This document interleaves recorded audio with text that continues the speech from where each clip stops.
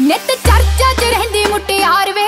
ਨੀ ਤੂੰ ਮਾਲਕ ਮਰੱਬਿਆਂ ਦਾ ਪਿੱਛੇ ਲਾ ਲਿਆ। ਗੋਰਾ ਰੰਗ ਲਿਸ਼ਕੋਰਾ ਮਾਰੇ ਦੂਰ ਤੋਂ। ਤੋ ਮੱਸਿਆ ਦੀ ਰਾਤ ਕਾਲਾ ਸੂਟ ਪਾ ਲਿਆ। ਵੈਰ ਪੈ ਜੂਗੀ ਮੰਢੀਰ ਲੱਗੇ ਆਉਦਿਆਂ ਤੇ ਵੀਰ।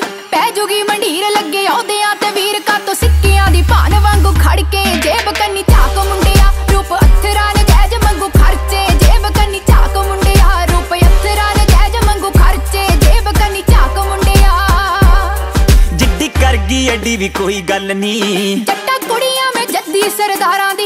ਅੱਧੇ ਪਿੰਡ ਜਿੰਨੀ ਪੈਲੀ ਕੱਲੇ ਜੱਟ ਦੀ। ਔਖੀ ਚੱਲਣੀ ਨੀ ਭੰਡ ਮੁਟਿਆਰਾਂ ਦੀ। ਕੱਦ ਪੂਰਾ 6 ਫੁੱਟ ਕੁੰਡੀ ਠੂਹੇ ਵਾਂਗੂ ਮੁੱਛ।